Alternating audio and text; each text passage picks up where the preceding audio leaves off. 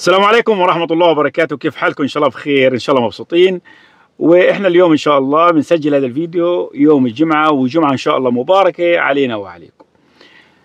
الآن لحتى اللحظة هذه إحنا موجودين في النزوح ولكن ولكن كان إمبارح في أخبار مبشرة إنه في وقف إطلاق نار وكان في بوادر كويسة والناس احتفلوا وصاروا يقولوا وقف إطلاق نار وانبسطوا.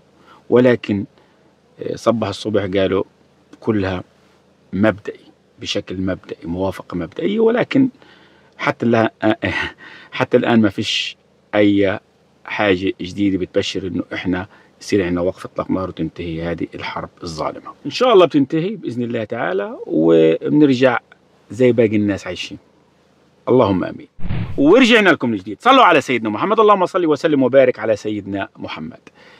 اليوم بالنسبة لتحديثات شاومي تحديثات شاومي Redmi Poco. هذه التحديثات كلها بتأخذ ال HyperOS. وقلنا أي واحد جهازه مفتوح ال bootloader ما بيقدر يأخذ تحديث هوائي لل HyperOS. إذا كان ال bootloader مفتوح لازم يكون ال bootloader مغلق أو بينزل عن طريق ال fastboot يعني عن طريق الكمبيوتر. إذا بده يعمل تحديث مش هيجي له لحاله يعني. جهازه هيكون واقف تحديثه. إذا كان ال bootloader مش هيتلقى لعند يعني هيتلقى لعند 14 ويقف لكن HyperOS إذا كان ال bootloader مفتوح مش هياخذ اليوم في عندنا أجهزة كثيره نسخ عالمية نسخ صينية تلقت تحديثات ال HyperOS. وهذه الأجهزة طبعا إحنا بنعرف إنه العالمي ينقسم إلى أنواع كثير أي حاجة برا الصين عالمي والصيني. العالمي ينقسم إلى عالمي أوروبي ياباني أوروبي ياباني هندي إندونيسي وهكذا. هذا كله عالمي. اليوم ال HyperOS نفس الشيء في نفس الشيء الموديلات العالمي اللي هو الأوروبي والأندونيسي وهكذا. اليوم التحديثات بلشت تيجي للصيني وبلشت تيجي للعالمي. كثير في أجهزة أخذت تحديثات وفي ناس لسه لحتى الآن مش عارف إنه هو أخذ تحديث أو لا. الآن بدنا نشوف موضوع الأجهزة اللي تلقت تحديثات ال HyperOS من هواتف شاومي بشكل عام سواء شاومي أو Redmi أو Poco. طبعا أنا هحكي لك الأجهزة اللي موجودة اسم الجهاز مش هقول لك عالم أو اوروبا ولكن انت هتدخل على القناة على قناة التحديثات الرسمية لشاومي وهتعرف جهازك هل هو تلقى تحديث كمان أو لا. خلينا ننطلق ونشوف إيش التفاصيل يا غاليين إلى هناك.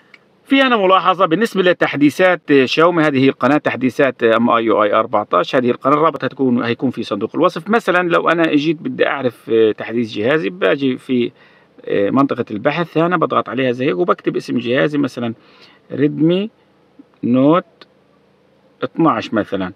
وباجي ببحث على ال search. بضغط على ال search ببين اسم الجهاز. يعني بضغط على ال search ببين اسم الجهاز. ولكن عشان مش في مش داخل الإنترنت أنا الآن.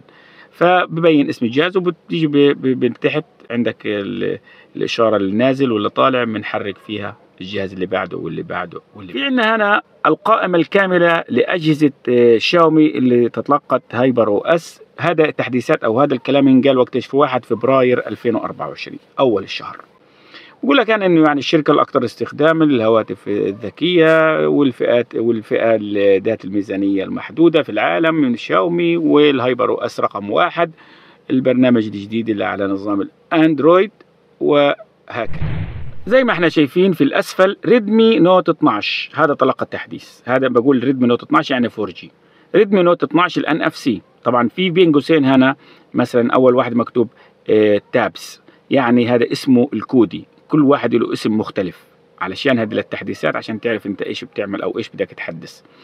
Redmi Note 12 NFC Redmi Note Redmi 12 ال 5G اسمه Sky شاومي Pad 6 شاومي Pad 6 Pro شاومي Pad 6 Max طبعا في من الأجهزة مثلا شاومي Pad 6 Pro بس صدر منه إصدار صيني وشاومي Pad 6 Max Poco F5 Pro شاومي 11T شاومي 13 شاومي 13 Pro Redmi Note 12S Poco F5 شاومي 13 Ultra شاومي 12T شاومي Mix Fold 3 شاومي Mix Fold 2 Redmi K60 Pro Redmi K60 Redmi K60 Ultra اللي هو نفس جهاز الشاومي 13T Pro نفس الشيء شاومي 13T طبعا الاسم الكودي بين قوسين كل واحد له الاسم الكودي تبعه. شاومي Civi 3 Civi 3 أيوه كمان أخذ التحديث. وشاومي 13 Pro وشاومي 13 شاومي 12 شاومي 12 Pro شاومي 12S شاومي 12S Pro شاومي 12S Ultra شاومي أو Redmi K 50 Redmi K 50 Ultra اللي هو نفس جهاز الشاومي 12 T Pro Redmi K 50 Pro اذا هذه الأجهزة كلها اللي تلقت التحديث. Redmi K 50 Pro Redmi Note 12 Pro 5 G Redmi 12 اللي مكتوب 5 G بيكون 5 G اللي مش مكتوب 5 G بيكون 4 G Xiaomi 12 Lite اذا 12 C و Xiaomi 12 Lite Poco X 5 Pro 5 G Redmi Note 12 Pro 4 G Redmi K 50 Gaming اللي هو نفس جهاز ال Poco F 4 GT بعدك في عندنا شاومي 12 X Poco X 5 5 G بعدين في عندنا Redmi Note 12 5 G بعدين في عندنا Poco M 5 بعدين في عندنا Redmi Note 13 5 G اللي هو الاسم الكودي تبعه ال gold هذا بيجي الصيني. Redmi Note 13 Pro 5 G أيضا الصيني و Redmi Note 13 Pro Plus 5 G أيضا الصيني. اذا هذه كانت تحديثات شاومي اللي وصلت لهواتفنا العالمية وغير العالمية وإن شاء الله يكون في تحديثات ثانية أحلى ما في الموضوع بالنسبة للتحديثات ال HyperOS اللي أجت على الأندرويد 14 طبعا في أجت على الأندرويد 13 مثلا هذا الجهاز اللي معي اجى على الأندرويد 14 في منه اجى على الأندرويد 13 ال HyperOS يعني ال HyperOS ممكن يجي على الأندرويد 13 ممكن يجي على الأندرويد 14 ولكن مش هيجي كامل الميزات. مثلا بالنسبة لشاشة القفل زي ما أنتم شايفين هاي شاشة القفل. لو ضغطنا ضغطة طويلة على شاشة القفل هي ضغطة طويلة على شاشة القفل ملاحظين أحلى في أحلى ما في الموضوع قفل الشاشة. طلع كيف؟ تقدر تختار من قفل الشاشة تسحب لفوق بيجيك وضع الكلاسيكي عندك قفل الشاشة وضع الكلاسيكي وهي عندك الأوضاع الألوان اللي أنت شايف فيها الخلفيات وفي عندنا هنا وضع معين ممكن تختار. هذا كله هذا كله في ال HyperOS هيجيك. يعني كل الأجهزة بيجيها زيك ولكن بيكون من جهاز لجهاز ممكن يكون في حاجات ناقصة في جهاز تاني. أجهزة ال flagship بتكون كاملة وأجهزة التانية ممكن تكون أقل شوي.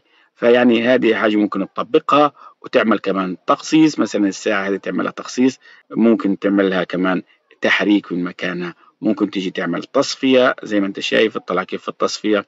كأنها زجاجية. هذه يعني الصحيح حاجة ممتازة جدا. يعني تقدر تقول زي قصة أجهزة ال iOS زي أجهزة ال iOS هاي مثلا تطبيق وهي كمان اتطبقت 100% ولوز يا معلم. نلتقي إن شاء الله في فيديو جديد. دعواتكم. سلام.